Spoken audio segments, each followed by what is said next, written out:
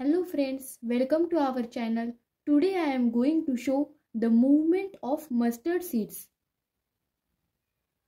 For this experiment, take a plastic jar. Take some mustard seeds and put it in this plastic jar. Take a balloon and fix it to a mouth of a jar. I cut this balloon like this. And now we will fix this.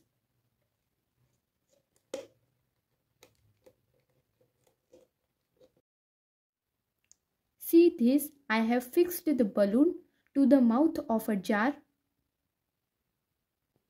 I tightened the thread to the jar like this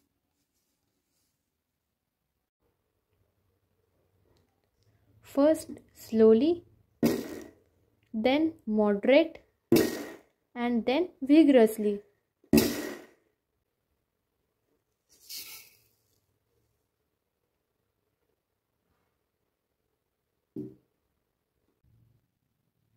From this experiment, we give energy less or more to the mustard seeds by pulling the diaphragm up and down, making them move difficultly. The particles in the solid, liquid and gaseous states of matter have movement somewhat similar to that.